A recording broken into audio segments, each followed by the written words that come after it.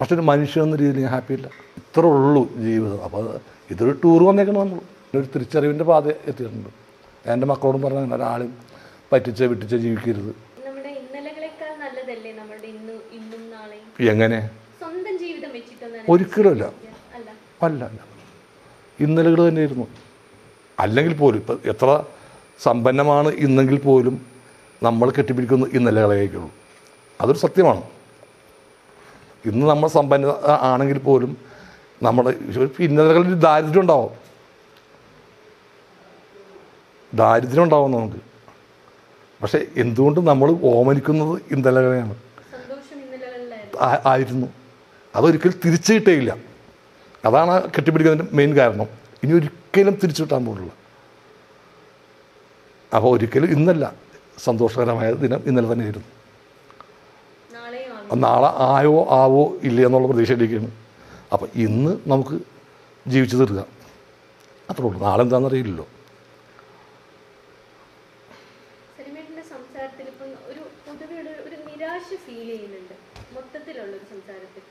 നമ്മളിപ്പോൾ ഇത്രയും ഒരു നാഷണൽ അവാർഡ് വിന്നറാണ് ഇതിലപ്പുറം ഒന്നും നേടാനില്ല ആസ് ആൻ ആക്ടർ എന്നിട്ടും ആ നിരാശ എവിടുന്നാ വരുന്നത്? നിരാശ ഉണ്ട് അതിപ്പോൾ എവിടെ നിന്നാണ് വരുന്നത്? നിരാശ. സ്വന്തം ലൈഫിൽ തന്നെ ഇരിക്കുമല്ലോ എനിക്കങ്ങനെ ഒരു ഭർത്താവ് എന്ന രീതിയിൽ ഞാൻ ഹാപ്പിയാണ് അച്ഛൻ എന്ന രീതിയിൽ ഞാൻ ഹാപ്പിയാണ് പക്ഷെ ഒരു മനുഷ്യൻ എന്ന രീതിയിൽ ഞാൻ ഹാപ്പിയില്ല എനിക്കറിയാം എന്റെ യാത്ര എവിടേക്കാണെന്നുള്ളത്. വ്യക്തമായിട്ടറിയാം എവിടേക്കാണെന്നുള്ളത് യാത്ര. ആ യാത്രയിൽ വലിയ സന്നാഹങ്ങളൊന്നും കരുതേണ്ട കാര്യമൊന്നുമില്ല. നമ്മൾ ഓരോ ചവിടും മുന്നോട്ട് വളരെ സൂക്ഷിച്ച് വെക്കേണ്ട കാര്യങ്ങളൊന്നുമില്ല. നമ്മൾ എത്ര സൂക്ഷിച്ച് ചവിട്ടിയാലും എത്തേണ്ട ഒരു സ്ഥലമുണ്ട്. അവിടെ എത്തുള്ളൂ. അപ്പോൾ എന്തിനാണ് വെറുതെ നമ്മൾ വേണ്ടാത്തത് ആലോചിച്ചിട്ട് ചെയ്യുന്നത്?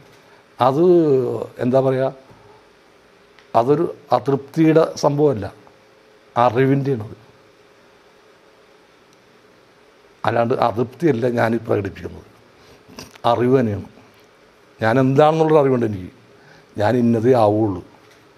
അതിനപ്പുറം ആകാൻ പോകുള്ളൂ ഞാൻ തിരിച്ചും മറിച്ചൊക്കെ ആലോചിച്ചിട്ട് ഞാൻ ഇന്നതേ ആവുള്ളൂ എന്നെനിക്കറിയാം. നല്ല ബോധ്യമുണ്ട്. ഇവിടെ വിട്ട് പോകേണ്ട ഒരു ആളാണെന്നുള്ളത്. പിന്നെ ഞാൻ എന്തിനായി ടെൻഷൻ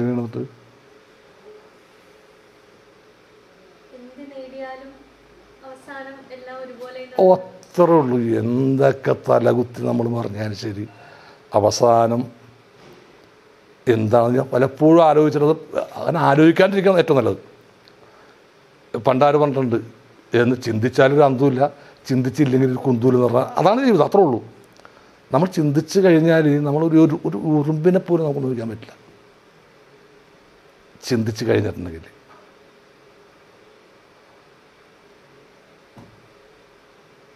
ചുമ്മാതല്ല ബുദ്ധനൊക്കെ കൊട്ടാരം വിട്ട് പോയത്.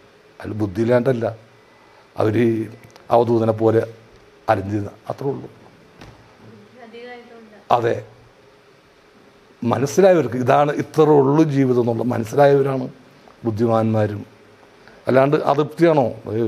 യശോദ രാജകുമാരനോട് ആ കിടപ്പറിൽ നിന്ന് എത്ര പ്രാവശ്യം അയാൾ ആലോചിച്ചാണ് അവിടെ കിടപ്പുറയിലിട്ട്. ഒക്കെ ഒരു സുപ്രഭാതത്തിൽ ഇട്ടേച്ച് പോയല്ലേ പുള്ളി ചെയ്തത് ബുദ്ധൻ അങ്ങനെ ഇട്ടേച്ച് പോകുന്നില്ലെങ്കിൽ ആരെങ്കിലും തിരിച്ചറിയുമായിരുന്നു? ഒരു രാജാവായിട്ട് അവിടെ അവസാനിക്കേണ്ട ആളായിരുന്നു. അതല്ലേ ഞാൻ ബുദ്ധനെ ഞാൻ ഇത്ര എന്റെ ഓരോ മുക്കിലും മൂലയിലും ബുദ്ധനുണ്ട്. കാരണം തിരിച്ചറിഞ്ഞ സമയമാണ്. ജീവിതത്തിൽ അത് ഞാൻ ജീവിതത്തെ തിരിച്ചറിഞ്ഞ നിമിഷത്തിലാണ് ഞാൻ ബുദ്ധനെ ആരാധിക്കാൻ തുടങ്ങിയത്. ഞാൻ ശ്രീലങ്കയിലേക്ക് പോയിട്ട് ബുദ്ധമതത്തിൽ ചേരാൻ വേണ്ടി പോയതാണ്. പക്ഷേ ഞാൻ ഞാൻ പിന്നെ ഞാൻ ആലോചിച്ചു എന്തിനാണ് ഞാൻ ബുദ്ധമതത്തിൽ ചേരണം? കാരണം ബുദ്ധനെ ആരാധിക്കണമെങ്കിൽ ബുദ്ധമതത്തിൽ ചേരേണ്ട കാര്യമില്ല. മഹാത്മാഗാന്ധിനെ ആരാധിക്കണമെങ്കിൽ കോൺഗ്രസ്സുകാരനാണ്ട് ആവശ്യമില്ല. ശ്രീനാരായണ ഗുരുവിനെ ആരാധിക്കണമെങ്കിൽ എസ് എൻ ഡി പി ചേരേണ്ട ആവശ്യമില്ല. ഇവരൊക്കെ ആരാധിക്കാം അപ്പോൾ അങ്ങനെ ആ ജീവിതത്തിന്റെ തിരിച്ചറിവ് വന്ന വേളയിലാണ് ഞാൻ ബുദ്ധനെ ആരാധിക്കാൻ തുടങ്ങിയത് മനസ്സിലുണ്ട്. കാരണം അങ്ങനെയാണ് ദൈവം എന്ന് എനിക്ക് തോന്നുന്നത്. കാരണം എല്ലാം ഇത്രക്ക് സുഖലോലുപയിൽ നിന്നിട്ട് വെറുതെ വിഷാദേഹിയായിട്ട് അലഞ്ഞിരുന്ന് കിടന്ന്. അപ്പം ഇതാണ് ജീവിതം. അത്ര ഉള്ള ജീവിതം. ഞാൻ മനസ്സിലാക്കിയ ജീവിതം അത്ര ഉള്ളൂ.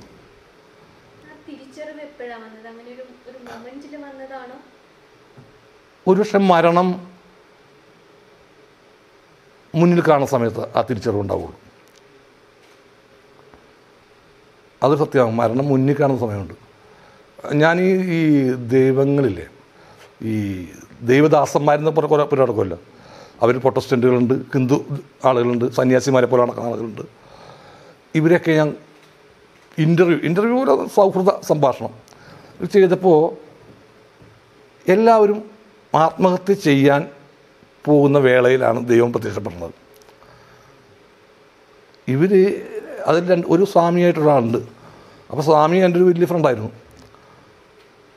ആ ഈ സ്വാമി കടമെല്ലാം കയറി വീട്ടിൽ ഭാര്യയും മക്കളെ കൂടി ഇരുന്ന് ചോറിൽ വിഷം കലർത്തി കഴിക്കാൻ സമയത്താണ് ദൈവം പ്രത്യക്ഷപ്പെടുന്നത്. ചോറ് കഴിക്കാം എന്നുള്ളത് സത്യമാണ്. ദൈവം പ്രത്യക്ഷപ്പെട്ടു. പറഞ്ഞു നീ മരിക്കണ്ട.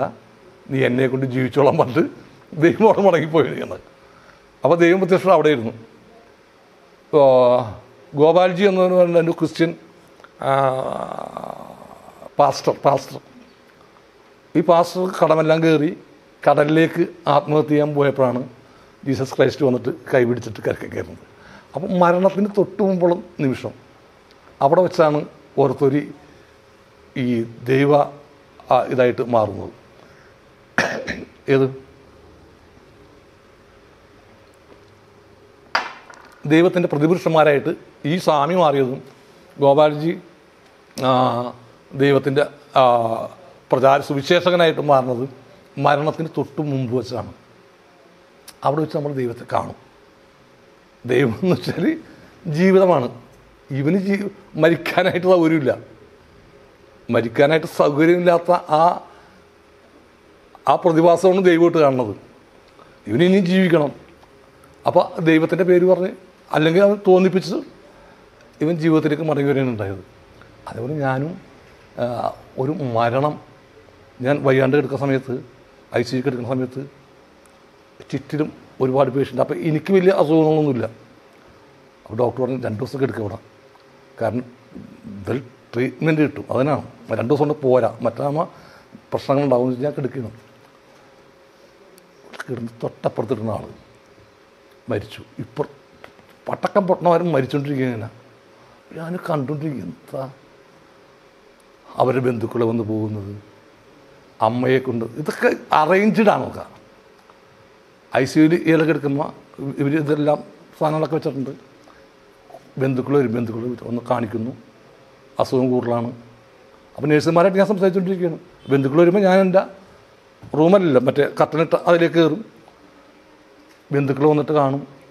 അപ്പോൾ ഒരു അമ്മ വന്നിട്ട് ചോദിക്കണം അങ്കമാലി ആ സൈഡിലുള്ള എന്റെ മോനെ വേറെ ഒരിടത്തും കൊണ്ട് രക്ഷപ്പെടുത്തുമോ കരച്ചിൽ എനിക്ക് തന്നെ സങ്കടം തോന്നി. ആ വയസ്സായ ഒരു സ്ത്രീയാണ്. അവരുടെ തീരാറായി. കഴിഞ്ഞു. ഇത് കഴിഞ്ഞ് പത്ത് മിനിറ്റിനുള്ളിൽ ഇയാൾ മരിച്ചു എന്ന് പറഞ്ഞ റിപ്പോർട്ടാണ് വന്നത്. മരിച്ചു. ഇതെല്ലാം അറേഞ്ച് വെൽ അറേഞ്ച്ഡ് ആയിട്ടാണ് നമ്മൾ ഈ ഐ സി കെടുത്തിയിട്ട് ഒക്കെ അറേ ആരും എഴുതിയ സ്ക്രിപ്റ്റ് പോലെയാണ് ഒരു പതിനഞ്ച് മിനിറ്റിന് മുമ്പ് വിളിച്ച് പറയുന്നു അസുഖം കൂടുതലാണ് കാണുന്നവർക്ക് ഒന്ന് കാണാൻ കാണാം പത്ത് മിനിറ്റ് കഴിഞ്ഞാൽ അപ്പോൾ ഞാൻ ചോദിച്ചു രക്ഷപ്പെടില്ലേ രക്ഷപ്പെടില്ല ആൾ രക്ഷപ്പെടില്ല അങ്ങനെ പടക്കം പൊട്ടണ പോ അടുത്തത് എന്റെ തൊട്ടടുത്ത് ഇതിലേക്ക് വരാൻ അധികം സമയം വേണ്ട. അന്ന് എനിക്ക് മനസ്സിലായി ജീവിതം ഇത്രയേ ഉള്ളൂ. നമ്മൾ എന്തൊക്കെ നാഷണൽ അവാർഡ് വാങ്ങിച്ചാലും എന്തൊക്കെ ഓസ്കാർ വാങ്ങിച്ചാലും ശരി ജീവിതം ഒരു ഐ സി യു തീരുന്ന ആ മൂന്ന് വർഷത്തിൽ തീരുന്നേ ഉള്ളൂ. ആ ഞാൻ എന്ത് അഹങ്കരിക്കാനാണ്? ആ ഞാൻ എന്ത് തൃപ്തിയോട് ജീവിക്കാനാണ്? എന്ത് തൃപ്തി ഉണ്ടാകും അതാണ് ചിന്തിക്കാതിരിക്കുക. നന്മ ചെയ്യുക. ഒരാളെ ദ്രോഹിക്കാതിരിക്കുക. അത്ര ഞാൻ ചെയ്യുന്നുണ്ട് എനിക്കിപ്പോൾ ഒരാൾ മന- മാനസികമായിട്ട് ദ്രോഹിക്കാതിരിക്കുക. അതാണ് ജീവിതം എന്നെ പഠിപ്പിച്ച പാഠം അതാണ്. ഇത്ര ഉള്ളൂ ജീവിതം. അപ്പോൾ ഇതൊരു ടൂർ വന്നേക്കണം നമ്മൾ ഓട്ടോന്റെ കലറിൽ വെച്ചിട്ടില്ലേ? ഇവിടെ ഇത്ര നാൾ മുതൽ ഇത്ര നാൾ വരെ ഇവിടെ സന്ദർശിച്ചു. അത്രേ ഉള്ളൂ. ആ സന്ദർശനം ഗംഭീരമാക്കാം. ആളുകളെയൊക്കെ ഒന്ന് ചിരിപ്പിച്ച് അതിൽ ഞാൻ വിജയിച്ചിട്ടൊന്നും കുറേ ആളുകളെയൊക്കെ ചിരിപ്പിച്ച് ഒരാളെ ഞാൻ ദുഃഖിപ്പിച്ചിട്ടൊന്നും വിട്ടിട്ടൊന്നുമില്ല. അതുമാത്രമുള്ള ഏക ഏക സന്തോഷം എന്ന് വെച്ചാൽ ആകെ ആരെയും അറിഞ്ഞുകൊണ്ട് ദ്രോഹിച്ചിട്ടില്ല. ഇനി ദ്രോഹിക്കുകയില്ല. ഇനി ഒട്ടും ദ്രോഹിക്കുകയില്ല അറിഞ്ഞുകൊണ്ട്. അറിയാതെ വല്ലതും പറ്റിപ്പോയാൽ മാത്രം ഇനി ഒട്ടും ദ്രോഹിക്കില്ല കാരണം ഒരു തിരിച്ചറിവിന്റെ പാത എത്തിയിട്ടുണ്ട്. എന്റെ മക്കളോടും പറഞ്ഞ ഒരാളും പറ്റിച്ച് വിട്ടിച്ച് ജീവിക്കരുത്. കാരണം ജീവിതം ഒന്നേ ഉള്ളൂ. അധികമൊന്നുമില്ല അപ്പോൾ ഒരാളുടെ മനസ്സിലെങ്കിലും നനവ് കൊടുക്കാൻ പറ്റി അതാണ് ഏറ്റവും വലിയ ജീവിതം.